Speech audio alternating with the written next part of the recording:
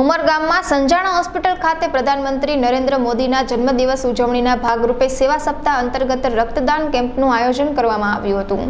આ કેમ્પમાં આદિજાતિ રાજ્યમંત્રી રમણલાલ પારકરે રક્તદાન અને માર્ગદર્શન આપ્યું હતું.